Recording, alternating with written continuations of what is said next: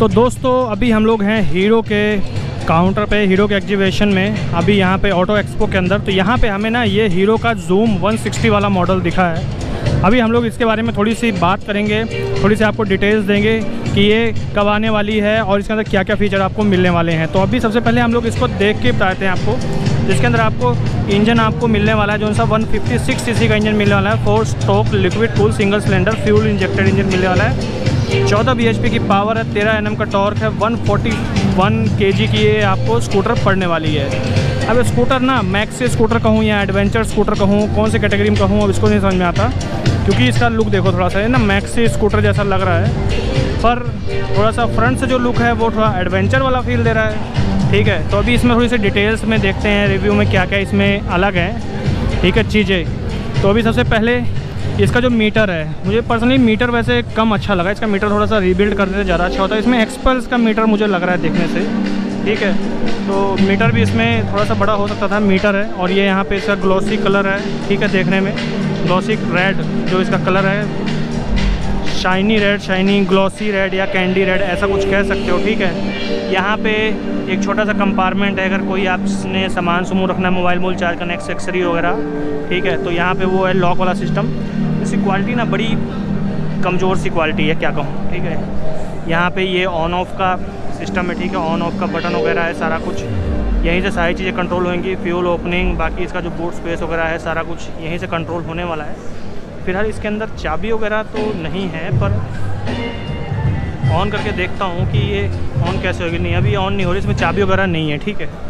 और इसकी जो बटन्स वगैरह हैं, थोड़ी सी क्वालिटी तो डाउन है, ठीक है? बाकी देखी जाए तो क्वालिटी थोड़ी सी बढ़ा सकते थे, लेकिन क्वालिटी कम लग रही है मुझे। बाकी यहाँ पे बटन्स काफ़ी अच्छे हैं। फ्रंट में पाँच लाइट भी है। यहाँ पे हाई बीम लो बीम है। टर्न सिग्नल्स हैं ऑन का बटन है। बाकी ऑन ऑफ़ मतलब आई थ्री जो होता है ना इनकी आई थ्री टेक्नोलॉजी है, वो दे रखी है इसके अंदर। और यहाँ पे आपको पावर बटन मिल ही जाता है। फ्यूल टैंक यहाँ पे इसमें मिलेगा। फ्यूल टैंक वहाँ पीछे वाला सिस्टम ख़त्म। यहाँ फ्यूल टैंक मिलेगा, इससे आप यहाँ पे सामान वगैरह नहीं रख पाओगे कुछ भी। नॉर्मल काम के लिए तो नहीं है ये। दौड़ाने, भगाने के लिए, मौज मस्ती करने के लिए है ये। तो यहाँ पे सामान रखने का सिस्टम ख़त्म। यहाँ पे आप लोग पैर रखोगे फुट पैड ठीक है? यहाँ पे मेटल का फुट रेस्ट मिलता है। और ये बाकी इसका इंजन का हाउसिंग है। इंजन इसका कैसा दिखता है, देख लो मैंने। बाकी आपको इसकी डिटेल्स बताई दी हैं। एफआई इंजन है। ये थोड़ा सा यहाँ पे फ़िल्टर बाहर दे रखा है। अब ये जो इतनी हैवी बाइक बना रहे हो तो हैवी स्कूटर बना रहे हो तो इसमें चीज़ें थोड़ी सी नहीं कर सकते। स्टाइलिश भी थोड़ा सा दिखाने के लिए तो ये चीज़ें बाहर हो ही जाएँगी। बाकी रेयर साइड से बात करें तो रेयर साइड में आपको यहाँ पे पता है क्या मिलता है? यहाँ पे टेल लाइट मिलती है एलईडी में, ठीक है? हाइलोजन में इंडिकेटर्स मिलते हैं। यहाँ पे आपकी नंबर प्लेट की माउंटिंग है। थोड़ा सा ये ना करीब करीब आधा फुट के करीब ये चीज़ ना बाहर है यहाँ पे तो वो थोड़ा सा है यहाँ पे। और बाकी आप लोगों के हिसाब से एडवेंचर के हिसाब से उन्होंने बनाया है तो इसके अंदर ना सस्पेंसन सेटअप डबल मिलता है। एक इधर मिलता है और एक इधर, ठीक है, दोनों तरफ़ सस्पेंशन सेटअप पीछे डबल मिलता है।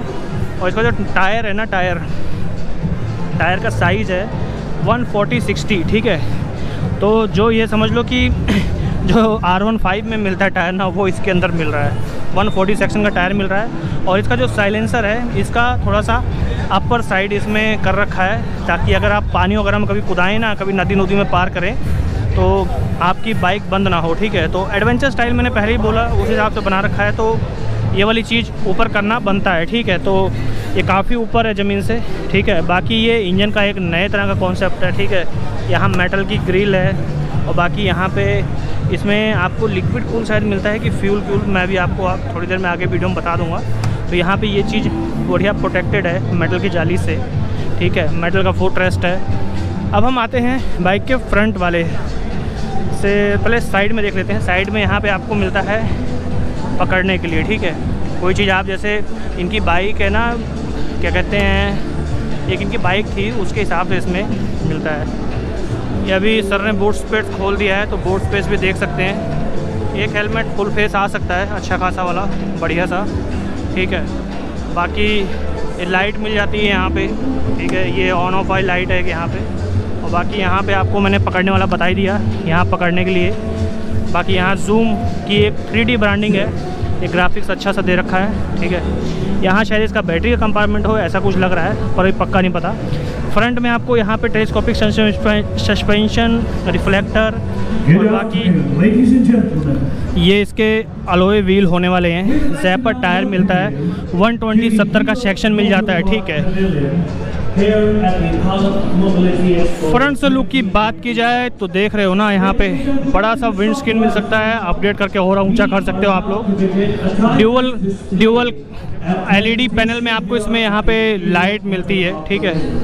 और यहाँ पे होंडा का हीरो का आपको इसमें हर लोगो मिल जाता है थ्री में, ठीक है? थोड़ा सा एडवेंचर स्टाइल में इसको, इसकी जो फ्रंट का जो मड गार्ड है ना, वो थोड़ा सा एडवेंचर स्टाइल में ऐसे निकला हुआ मिलता है। हाई थ्रेस के साथ आता है 160 की ब्रांडिंग मिलती है, ठीक है? तो ये होने वाली है 160 160 जूम ठीक है? एडवेंचर स्टाइल तो कैसी लगी आपको वीडियो कमेंट करके बताना?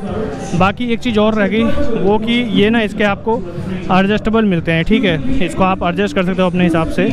ठीक है। बाकी बाकी पूरी वीडियो में आपको कोई भी चीज़ अगर मिसिंग लगी तो आप मुझे कमेंट कर सकते हो। ऐसी ढेर सारी वीडियो में लाने की कोशिश करता हूँ चैनल के ऊपर। फ़िलहाल के लिए चलता हूँ, मिलूँगा नेक्स्ट वीडियो में। तब तक के लिए बाय बाय